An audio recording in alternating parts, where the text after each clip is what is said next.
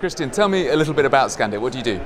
At Scandit, we use camera-based systems to connect the virtual with the physical world, capturing what's going on in the real world, where items are, what size they are, where they're being placed, how they're being moved, and use camera-based systems to do this. And this could be on a, on a smartphone, this could be on a drone, this could be on a robot.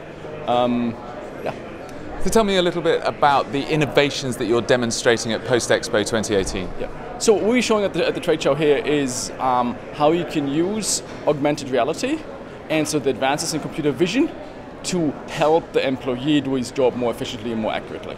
And this, for example, means that I'm not using just a you know, handheld device to scan an individual item, but I actually just pointed a whole bunch of package as an example. I can say, show me this package, and we would highlight the package that the person is looking for. Or if I'm doing sorting, I immediately see like different zip codes highlighted in virtual reality on my smartphone so I don't have to come in a cumbersome way, look through every parcel, look at the address saying, oh, that's, that's zone one, that's zone two, zone three, but my technology actually helps me to support that.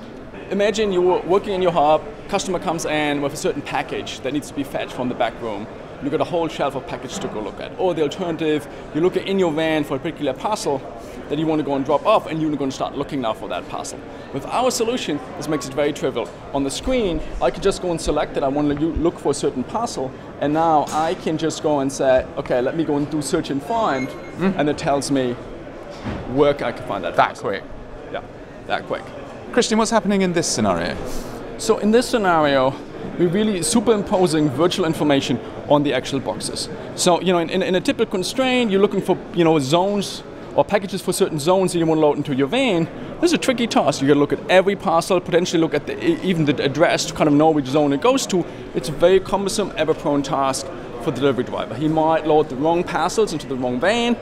You're facing a lot of delays when then it needs to be returned and delivered again. And this solution makes this very, very easy. You just point your phone at the parcel IDs or the parcel labels and we superimpose the different loading zones on top of it. Okay, so take your, take your hand away and just show me how quickly the phone can recognize the parcels. Again, it's it's it's like almost instant, exactly, right? And so compare that to scanning each one of them individually, looking at the screen, scanning the next one, looking at the screen. That takes, you know, of the order of minutes for a pile like this. And here, you get it all in one go. How satisfied are you with the quality of visitor that you've had to your stand this year?